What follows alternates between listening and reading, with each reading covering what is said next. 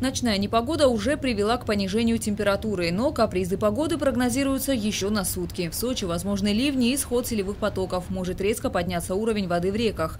На комиссии ПЧС глава города собрал всех руководителей районов и служб и поручил принять все меры предосторожности. Уже сейчас ведется постоянный мониторинг уровня рек, контролируют и места возможных сходов селевых потоков.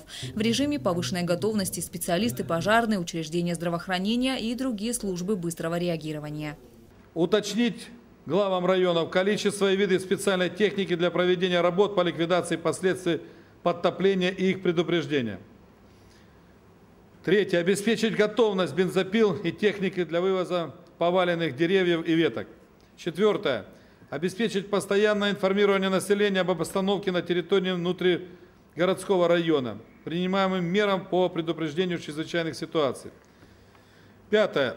Организовать дежурство ответственных лиц из числа руководящего состава администрации внутригородских районов Сочи с 19 часов сегодня до 25 сентября, включительно к 21 часу. Также члены комиссии уточнили информацию об одиноких гражданах с ограниченными возможностями здоровья, которые проживают в возможных районах подтопления. На всякий случай готовы и планы эвакуации. Режим ЧС продлится до вечера четверга. Руководство города призывает всех граждан быть бдительными и в случае необходимости звонить с мобильных телефонов по номеру 010.